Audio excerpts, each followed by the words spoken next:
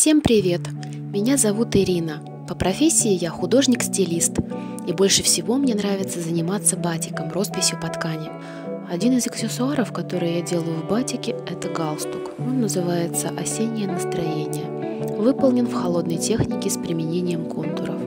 Здесь изображены листья, вздымающиеся в вихре осеннего ветра. Важно увидеть что-то интересное, казалось бы, в простых вещах и преподнести это с ноткой индивидуальности.